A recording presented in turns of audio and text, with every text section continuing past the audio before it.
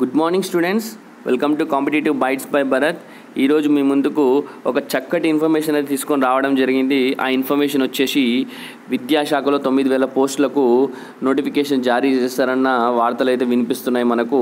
మనము ఈరోజు ఒక న్యూస్ పేపర్లో కనుక చూసుకుంటే తెలంగాణలో విద్యాశాఖలో తొమ్మిది వేల పోస్టులకు భర్తీ చేయడానికి సన్నాహాలు అవుతున్నాయని అయితే చెప్పడం జరిగింది స్టూడెంట్స్. ఇక్కడ మనం చూసుకుంటే కనుక ఏడు వేలకు పైగా బోధన శాఖలో రెండు వేలకు పైగా బోధనతేర పోస్టులు అయితే రిలీజ్ చేస్తామని అయితే చెప్పడం జరుగుతుంది.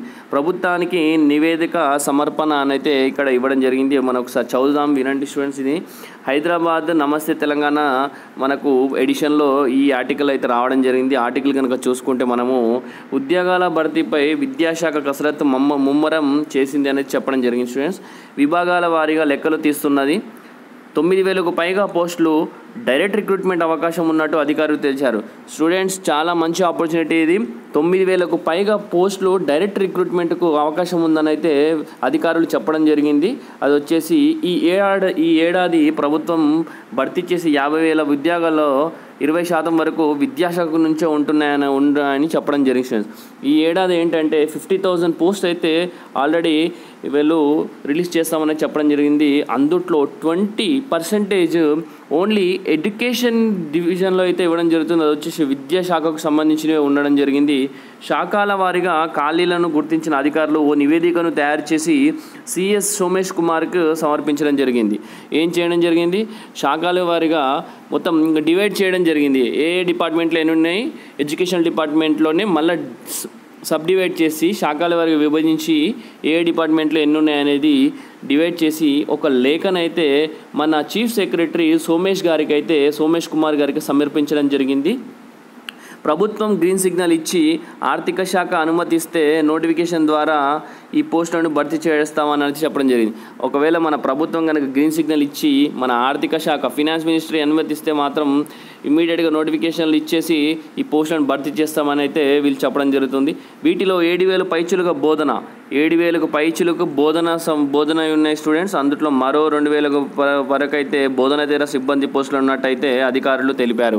వీటిలో అయితే ఏడు వేలకు పైగా బోధనకు సంబంధించిన పోస్టులు ఉండడం జరిగింది. అలాగే రెండు వేలకు పైగా బోధనేతర సిబ్బంది పోస్టులు ఉన్నట్టయితే అధికారులు తెలిపారు.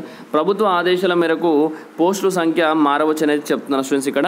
మన ప్రభుత్వం ఆదేశాలు ఇస్తే మన పోస్టులు మారచ్చు అని అయితే చెప్పడం జరుగుతుంది.